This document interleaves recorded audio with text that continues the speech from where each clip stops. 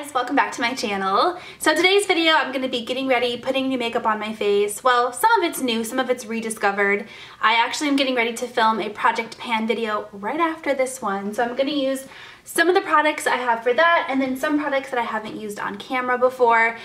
I know I'm on a no-buy, so you guys are going to be like, Melissa, how do you have new products? Well, check out my last um, Mommy Monday it was the one where it was like a day in the life of me and my baby.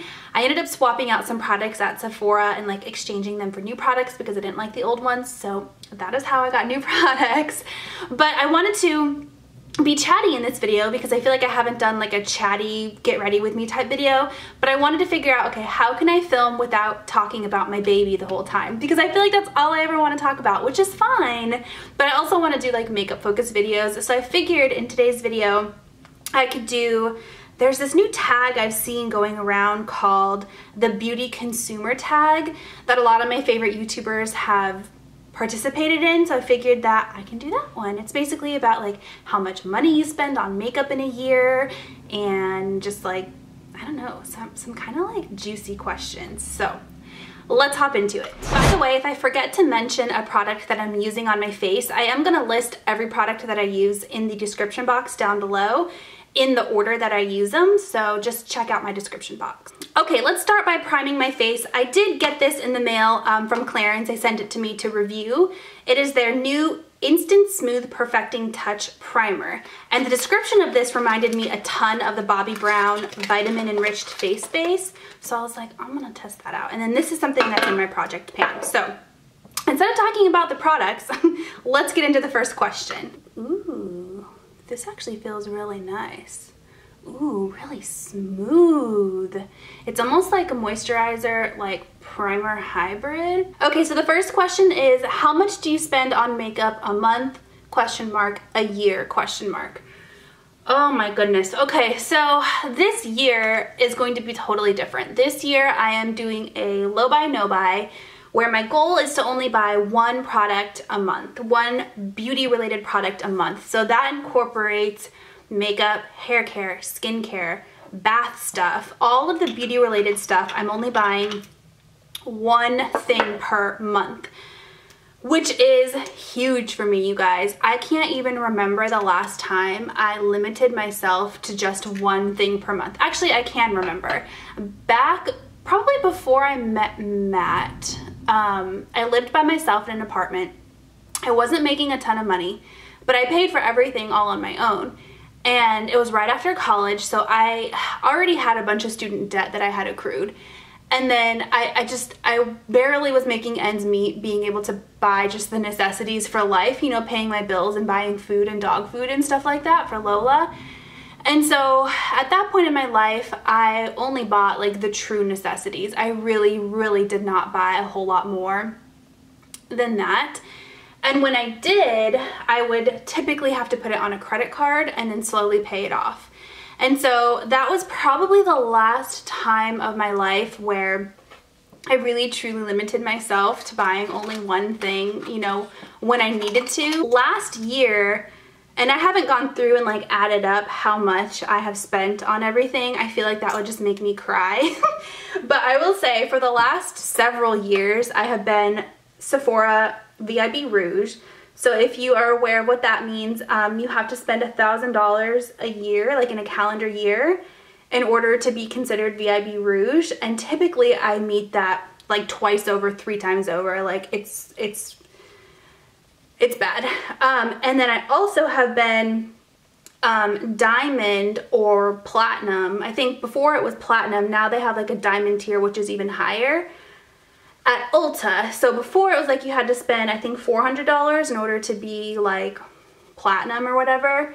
And then now it's $1,200 in order to be diamond or the top tier. And I met, I met that last year also at Ulta. So needless to say, it is thousands of dollars and it is a bit ridiculous. So that is one of the reasons why I have cut back and this year I'm only buying one thing per month.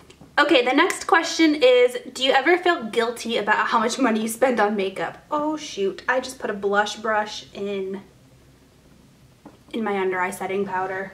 Uh, yeah, I feel guilty about it all the time because there's so many other things I could be doing with that money and or buying with that money. I could donate that money. I could you know, save that money for my retirement. I could, there's so many other things I could be doing with that money. So that's another one of the reasons why I have cut back. I think honestly having a child truly changes your mindset. And in my mind, I now think like, oh, I could be using that money to buy something for my baby or something like that. So that is one of the reasons why I decided to change my spending habits this year. Next question is, do you get FOMO related to makeup releases? Absolutely. I am what I like to call a marketing company's dream. I fall for marketing so easily and I'm aware of it. Like, it's not like they're being sneaky. Like, I'm aware of the fact that I fall for the limited edition thing exactly like they want me to basically. If I know something is limited edition, it makes me want to buy it that much more. But I also realize that labeling something as limited edition is also a very, it's a marketing tactic. And you guys have probably realized that a lot of the times companies will say something is limited edition and then like a year later, six months later, it comes they like re-release it and they're like, oh, you guys liked it so much that we made more. And it's like, you plan on making more all along. All right, I went ahead and did my brows off camera in case you're wondering like, wow, where did those brows come from? I used the Anastasia Brow Wiz, by the way. And then for eyes, this is my January purchase. This is the Huda Beauty Nude Palette. I bought this for my sister for Christmas, and I have to say, I wanted to keep it for myself so stinking bad, but I didn't. I gave it to my sister, um, and then this is this is what I bought for myself this month. So this is the light version. She has three versions of it. There's light, medium, and deep or something like that, or rich. I don't know. They're, they're all really beautiful, um, but this is the one I bought. So I don't know. I just really love like these peachy colors and purples, and a lot of them spoke to me. So. Anyways, let's move on to the next question, which is, do you purchase, do you purchase or keeps I do you purchase or keep items simply because they are limited edition? Wait a minute, did I combine those two questions together? I think I did. The last question was, do you get FOMO related to makeup releases? Yes, I do. I definitely get FOMO. Um, I want to buy the products. I want to be the first to review it. I want to be the first to get my hands on it. And if something sells out or if companies say like selling out, it makes me want to buy them even more. I'll just be honest with you. And then the second question about, or sorry, the fourth question about do you keep items simply because they're a limited edition? I do. Um, that's the consumer part of me that you know, wants to buy the limited edition stuff and then doesn't ever want to get rid of it. For example, the Hourglass uh, palettes, the Hourglass holiday palettes from like a year ago, two years ago um, are limited edition. They're not available anymore. I don't use them on camera very much because I know that you guys can't get them, but I use it so much in my everyday today, like day-to-day -day makeup because I just love the products. So I definitely am reluctant to get rid of limited edition stuff. There's a part of me that's like, why are you keeping it? And there's a part of me that's like, you fought to buy that because sometimes you have to like, you know, fight through online queues and be there right when th something goes on sale and click it before it sells out and all that stuff. You spent your hard-earned money on it, so definitely keep it and use it. So, I don't know, it's like a toss-up. I'm really liking this pink color, by the way, in this palette. I'm using this matte pink here up in the corner, and I really like it. It's just like a nice, it has a nice undertone. Okay, the next question is, would you be willing to pay more money for a sold out product online? So I think this is meaning like if something was sold out, would you spend more money to buy it like on eBay or Poshmark or things like that? Uh, no, I've never done that before. I I kind of, in my mind, I think like, oh well, if it sells out, if I don't get to it, then it wasn't meant to be. I don't need the product. And I didn't always have that mentality. There's been many times where I've been very, very tempted to purchase sold out. Gosh, this has a lot of fallout. I don't know if you guys can see, it's all over my cheeks um, where I've been very, very tempted to purchase um, sold out products on things like eBay, but I, I never have and I don't think I ever will. In the end, at the end of the day, like it's just makeup. More than likely, there's another product out there that's very similar to that one texture wise, color wise, whatever it may be. And also, like I stated before, a lot of companies say something is limited edition and then they re-release it later on anyway. So it's kind of like, just wait, you know, just wait and see. Next question is, do you wish you could spend more or spend less? I don't really like this question because I feel like it's trying to dig at the fact of like, I just I feel like it's very telling of people's financial situations. And so I just I don't I don't necessarily like this question, but I'm going to answer it anyways. And I think there there's a part of me that can answer either way. So of course, I always want to spend more. I want to be able to buy all the new makeup. If I could have every single new product at my fingertips to play with, to review, to look at, to swatch, to collect, to take pictures of, to show off on my channel or my Instagram, I would love that. I would. But the reality is, if I did that, I would have so much stinking makeup.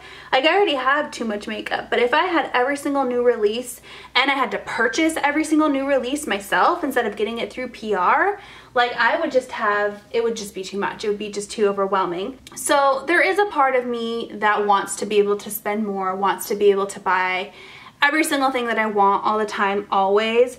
But then there's another part of me that is telling me to go on this no buy low buy because I already have so much and I don't want things to go to waste and I do need to spend my money on other things. So I think it's like a catch 22 and I could answer it either way. Ooh, this purple color though. How fun is that? Okay, next question is, do you feel compelled to buy something when you see it in someone else's collection? I think it depends on the person, if I'm being honest. Um, it does definitely make me think about purchasing it. Like, so if I'm watching a YouTube video of somebody, either somebody that I always watch and I like and I love and I trust, or, you know, maybe I stumble upon a new video, a new person I've never seen before, and they mention a product. If they mention a product that I've kind of had my eye on and I've passed on it, it'll definitely make me question why I passed on it. Like, well, if they like it, maybe I'll like it. Um, and there has definitely been cases where people have talked about products that I was dead set in my mind that I wouldn't like, but because they have talked about it and they like it, I change my mind and I end up buying it.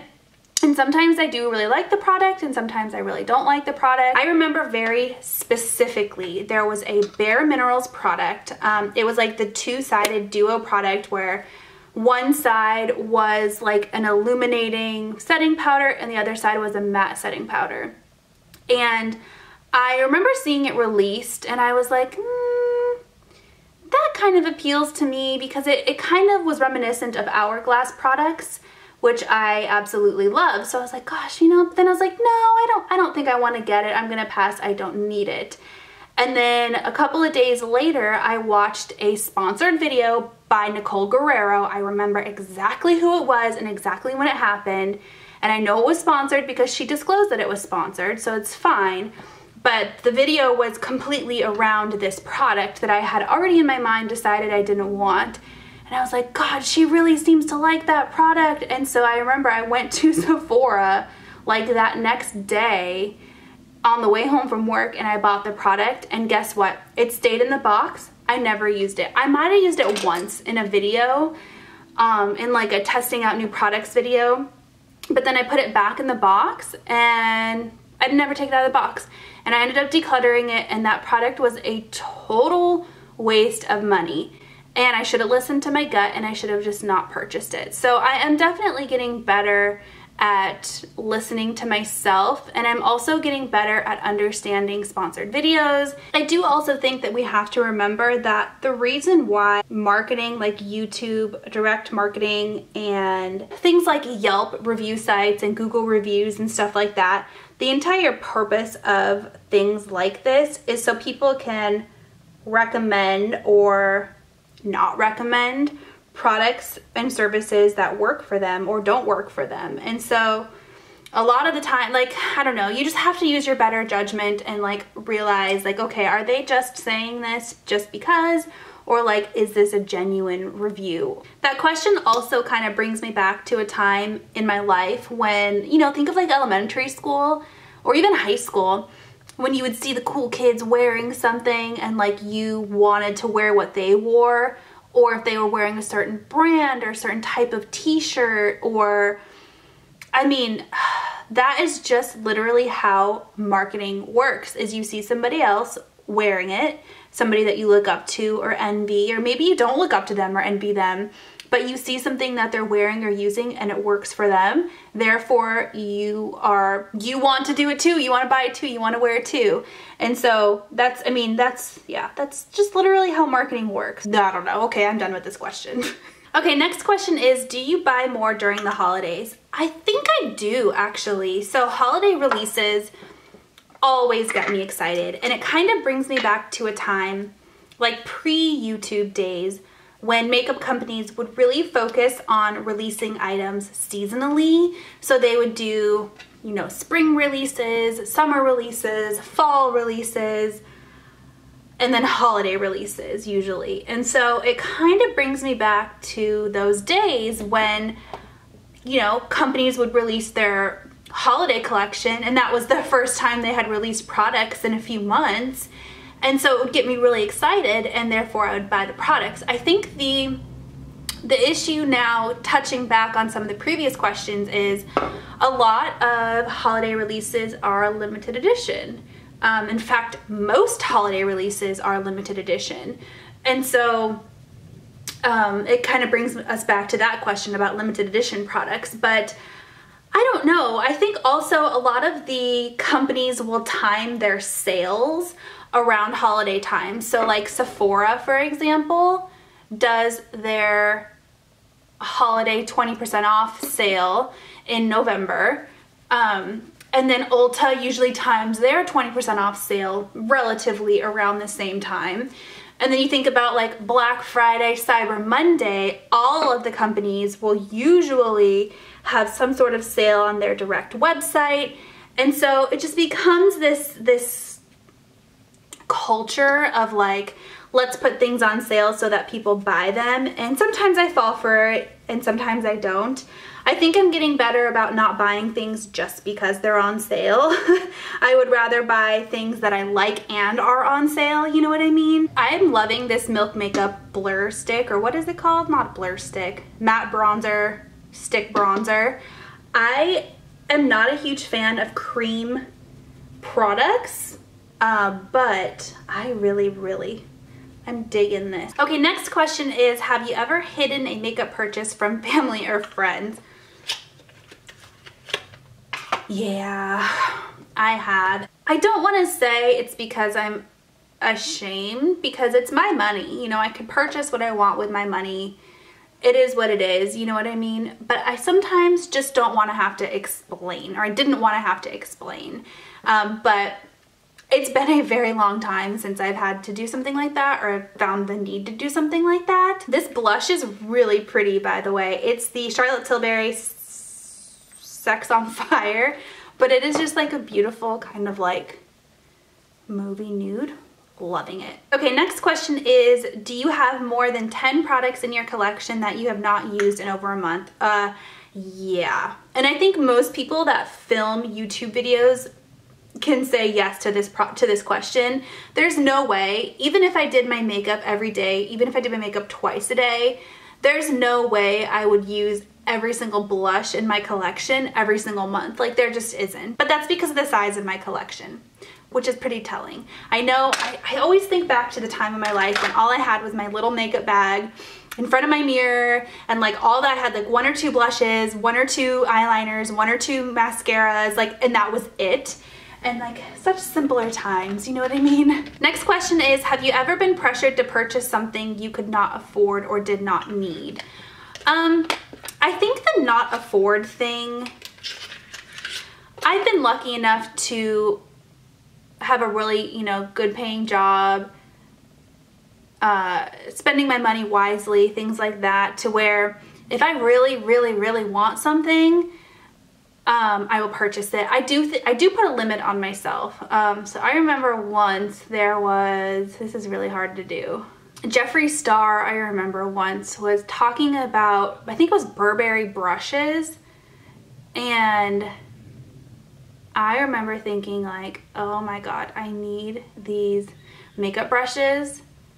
And I looked them up online and they were like a $100 a brush, which is insane And I was like, I can't do that. That's ridiculous. I'm not doing it.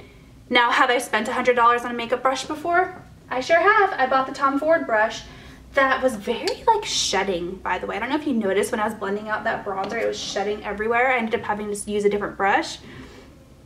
So, but I do put limits on myself. I do. I also feel like I have a different, let me rewind. I had a different expectation in my head about how much money should, or how much money makeup should cost. Like in my mind, you know, $50 for a makeup palette doesn't seem like a whole lot of money, but then I think about $50 is a lot of money. Like you could do a lot with $50. You could buy groceries for a week for your family or, you know, fill up your gas tank twice or, you know, there's, that's half of my phone bill and there's a lot of stuff and it's just like in my mind, I kind of, I don't know, I was able to justify the expense for some reason uh, for certain things. Now, this year, of course, things are a lot different and I'm thinking about things a little bit differently. I really like the color of this lip pencil. I don't know that it goes very well with like the purple eyes, but it's really nice. It's Charlotte Tilbury Love Trap, by the way. And then the lipstick I'm gonna use is Charlotte Tilbury's Pillow Talk Diamonds. Um, okay, next question is, do you purchase makeup for collector reasons? I definitely have done that. Um, I have definitely completed sets of things just because I want every single thing in that set. So for example, these Too Faced blushes, which I don't even think are available anymore. I remember I had bought one or two because I liked the color. And then I ended up really just liking the packaging and I wanted to have the whole collection. And so I ended up buying the whole collection, every single color, even though realistically some of these colors are not going to work well on my skin tone. So for example, like Your Love is King, this is not going to work well on my skin tone. Oh, just dropped my phone on the floor. This is not going to work well for my skin tone. It's way too dark. You know, why did I need to buy this? Well, I needed the whole collection of things.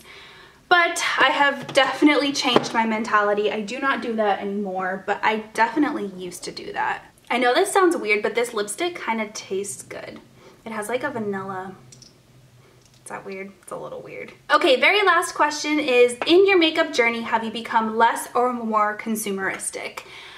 I think for a while I became very much so more consumeristic, especially when I was first starting my makeup channel. And I think that was just kind of the trend back in the day was having these huge makeup collections. And it came from seeing other people having huge makeup collections. So it's like, well, if all these people became so successful on YouTube by simply having large makeup collections, you know, in my mind, that's what I thought, well, then I need a large makeup collection.